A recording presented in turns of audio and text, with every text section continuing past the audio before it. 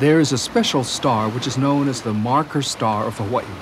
The name of that star is Hokulea, which means star of gladness. The old Polynesians and Hawaiians used to use this star as their main guide to find their way over thousands of miles of open ocean.